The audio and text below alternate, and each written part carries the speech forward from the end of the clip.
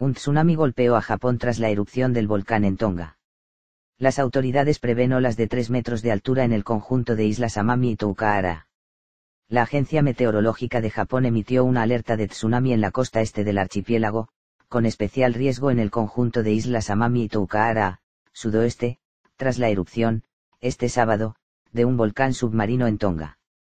El organismo meteorológico nipón prevé olas de hasta 3 metros de altura en las mencionadas Amami y Toukahara, donde ya se observó la llegada de la primera ola, de 1,2 metros de altura.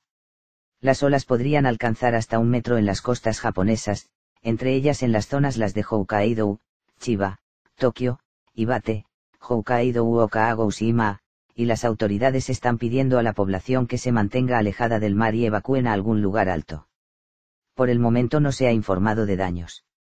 El tsunami en costas niponas se produce horas después de que la violenta erupción de un volcán submarino cerca de Tonga, en el Pacífico Sur, provocara este sábado otro que ha golpeado las costas de esta nación insular y que también ha encendido las alarmas en otros países de la región. La noche del 15 de enero en Japón, la agencia meteorológica del país alertó de que existía la posibilidad de que ocurrieran cambios menores en el nivel del mar en la costa de la nación insular. Pero descartó la posibilidad de un tsunami dañino. El ente, inicialmente, no emitió una advertencia o aviso a la población, detalló el medio Nippon Japan Times. Sin embargo, el organismo cambió el tono las primeras horas del domingo, 16 de enero, cuando finalmente emitió una advertencia a la población, aunque aparentemente las olas ya habían azotado algunas regiones.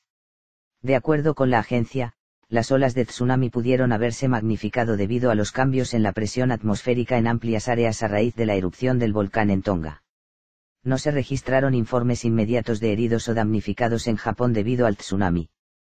El 15 de enero tuvo lugar una enorme erupción del Unga Tonga Unga Apai, un volcán submarino cerca de Tonga. Varias horas después, el Centro Nacional de Alerta de Tsunamis de Estados Unidos emitió una alerta de tsunami para la mayor parte de la costa oeste de Estados Unidos, Hawái y Alaska.